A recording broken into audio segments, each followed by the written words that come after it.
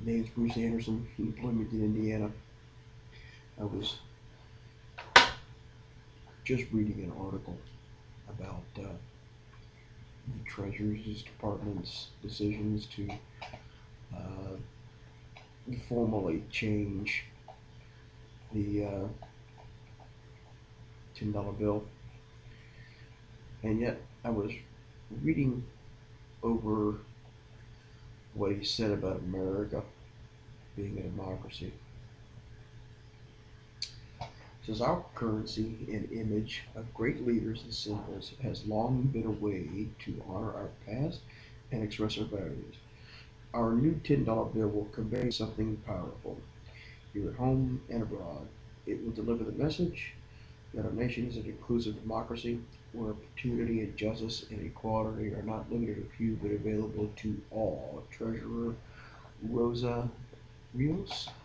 Okay. You know, um, one, he's incorrect about America being a democracy. Citing www.c4cg.org forward slash republic dot htm republic versus democracy uh, let's see here. I believe this is actually Gary McLeod, McLeod website or affiliation with Mr. Um, Republic versus democracy, rule by law versus rule by majority.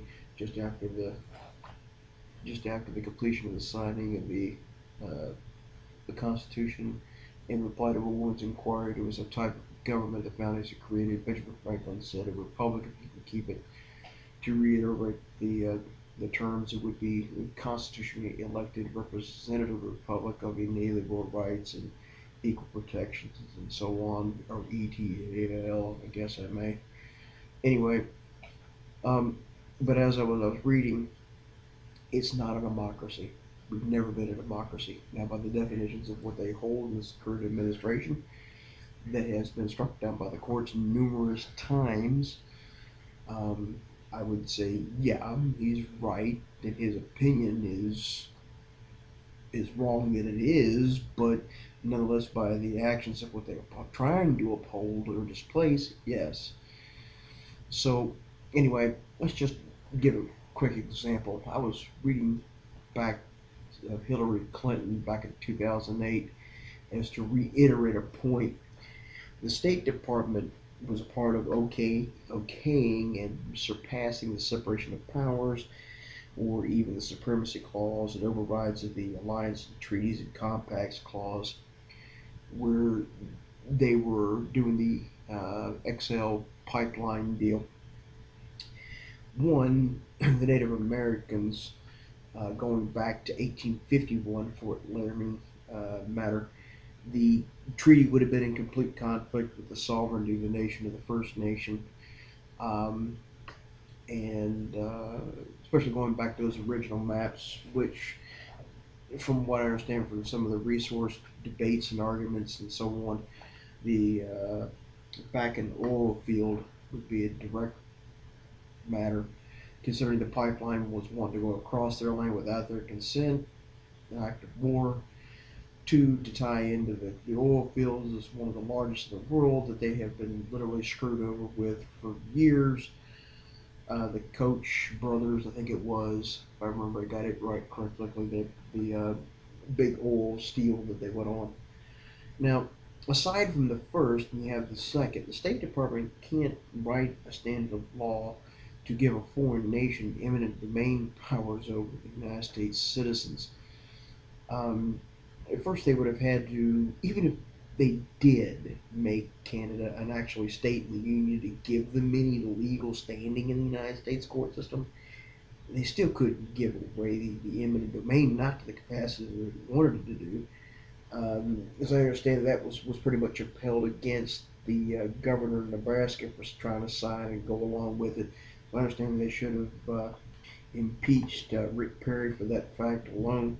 They're trying to allow an establishment of another nation to invade and uh, literally take and override American um, uh, American sovereignty of that. But anyway, by his definitions of democracy, yeah, that'd be correct. That's the kind of stuff that Hillary Clinton and them did that she should be rebuked for and uh, held to account, in my opinion. Uh, was it uh, Amendment 14, Section 3? Actually trying to agree to surrender the United States to an invading force. To me, that would be number one. Um, now, the likely chance they actually uphold her, her uh, hold her rebuke, I don't know. They didn't let her after uh, Watergate, but they let her through anyway. Anyway, but let's see here. How many other times, you know, grant you, Obama corrected himself with the veto. Hey, give him some respect there, right? Anyway, so, but how many times has the court rebuked him since for democracy uh, by trying to take outright authority when they don't have it and violate several principles, including separation of powers? For instance, recess votes matter. Of course, rebuked him for it. And see here the immigration argument. They rebuked him for it. Same kind of thing about the backing of an invasion of another country to have an override for America. Anyway, um, let's see here. The BTAF matter. That'd be another example um, where they didn't have the authority trying to take the authority, and even Congress couldn't give an agency of appointees the authority to do what they wanted to because the right to arms and the fact of what they wanted to do was protected by a law, the Dick Act, going back to 1903. The efficiencies of militia, the organized or unorganized, and the uh, inalienable right for it, the unlimited ability to maintain the arms. Uh, anyway, seems like it. Uh, just go with that anyway.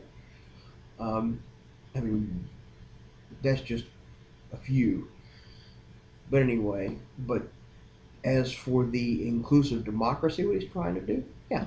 If I understand, even the uh, FDA's or the EPA ruling that they did and overriding the FDA without the FDA or with the FDA with the uh, mercury bans, um, where it seems to be. I'm still researching this one.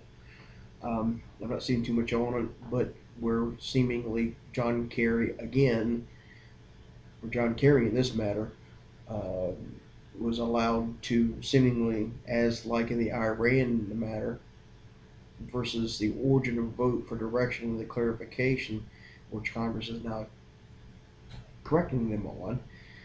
It seemed like to be the same thing where was the direction of the region versus what they're doing where they didn't didn't even I mean they banned amalgam I mean uh, mercury but didn't seemingly call for a recall. And then nine things that they agreed to was suddenly handed over to an agency the EPA and they decided to do whatever they wanted. And there's been nothing death to uh, left done to recall. And I mean they just banned mercury. Now, a dental fillings made with mercury is fifty percent. Aside from the whole argument that the way that they read it didn't try to go around or uh, highlight the, the, medical concerns, which they claim seemingly did it that way to prevent lawsuits. Um, I'm to say they didn't even try to include the fact of the EMR conductivity problem, but whatever. Um, I'm still researching that last part on that with the uh, the uh, mercury bands, but it seems to be the consistency of the fact of what they uphold as an inclusive democracy, where they allow appointees and agencies of, within appointees to set the rule of law without any vote. Um, I'm not even sure if that's actually democracy or something below that, below communism. But whatever. No, America's never been a democracy. And uh, now, heck, they wanted to put somebody on the base of value of money for 10 if they actually wanted to change it, just for reference of figures in history. I mean, I'm sure there could be a number of Native Americans put on there if they actually wanted that. But, well, How the Polish Jewish fellow that was the banker that helped funded the Revolutionary War, Mr. Haman Salomon? You guys want to change it? Fine. Petition the Congress. Maybe the Congress will vote for it and change it to direct the agency to change it. Hey, then it actually might be done correct. But anyhow, that was my beef and take on that. Um, but uh, yeah, Hillary Clinton democracy. Yeah, I'll say they pulled something. anyway, this guy doesn't know what he's talking about. That's America's never been a democracy ever. Hey, Rush Limbaugh, doctor, democracy. You gotta drill them on that one. Haven't listened to you in a couple of weeks, so haven't heard you going on about it. anyway, he's right. They're wrong.